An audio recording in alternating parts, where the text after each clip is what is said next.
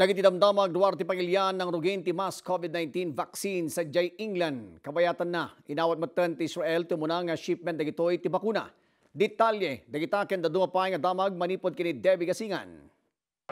Adun nga umili iti Brighton, England, ti imawat iti umuna a dose ti Pfizer-BioNTech vaccine kontra iti COVID-19. Karaman dito'y dagiti agtawan iti walupulo ag pangato kan sumagmamano a frontline workers. Ponteria ti gobyerno ang makaipa iti upat apulo a milyon a doses ti bakuna sakbay nga aglapas ti agdama atawan. Agtalakmat dagiti umili sa jay iti kinatalgad ti bakuna kan mangnamnamada nga agsubli iti normal ti amin iti sumarsaruno a bulan. Kabayata na, inawat ni Israeli Prime Minister Benjamin Netanyahu ti umuna a shipment ti Pfizer coronavirus vaccine. Dahito ti umuna pa sa ti kagudwa a milyon a doses a naidanon sa jay Israel ita a bulan. Inawagan mat dahito ni Netanyahu kas big day of celebration para iti pagilian.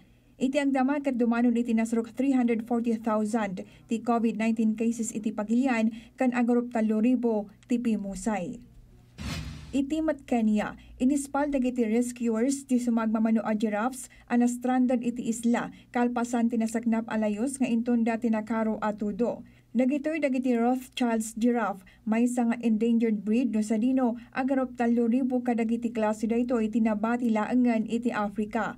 Dagiti giraffes kat nayakar iti Ruko Conservancy amang protector kadagitoy manipod kadagiti poachers kanda duma a predators. Debbie Kasingan para iti pagilian.